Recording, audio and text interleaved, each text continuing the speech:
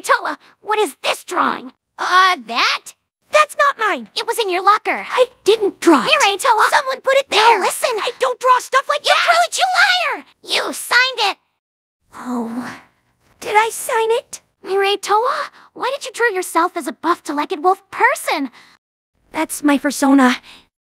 You're what? His name is Dutch. He's my fursona. What is a fursona? I roleplay as a soft, shy wolf boy on Twitter. You act like a dog on the internet. Dutch is a wolf.